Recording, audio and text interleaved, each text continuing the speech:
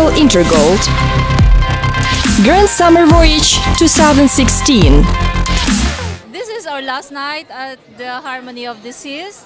I would like to thank Global Intergold for giving us these opportunities. Uh, aside from the gold and all this, but one thing I want to say is it fosters closeness within our team. And um, I'm sure that we will go back to Malta with all the memories that we shared on this boat, on this trip. And we will do better because of that. So thank you so much. This is an unforgettable experience and we hope we will win again next year. Global Intergold, the online gold shop.